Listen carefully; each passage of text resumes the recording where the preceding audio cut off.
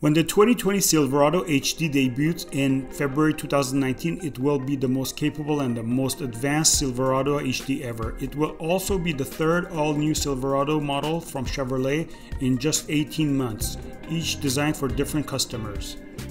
Built at the Flint assembly plant in Flint, Michigan, the new Silverado HD's design has a bold, sculpted form that flows its enhanced heavy-duty function, differentiating it from the light-duty Silverado. In fact, the 2020 Silverado HD exterior shares only the roof with its Silverado 1500 stablemate.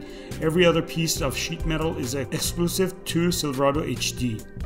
The interior benefits from similar architecture changes made to the all-new Silverado 1500, including an additional 3 inch of legroom on crew cab models and a taller, more comfortable seating position. Under the 2020 Silverado HD's hood is a choice of two new platforms, an all-new gasoline engine with direct injection mated to a 6-speed transmission or the Duramax Turbo Diesel V8 which delivers 910 foot-pounds of torque through an all-new Allison 10-speed transmission.